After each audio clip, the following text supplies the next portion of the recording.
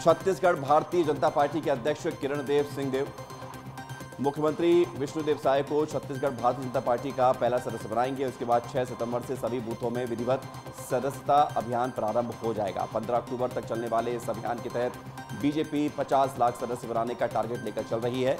इसी कड़ी में आज दुर्ग में संभाग स्तरीय सदस्यता अभियान कार्यशाला का आयोजन किया गया, जहाँ दुर्ग में छत्तीसगढ़ भारतीय जनता पार्टी के सदस्यता अभियान के प्रभारी अनुराग देव सिंह शामिल हुए।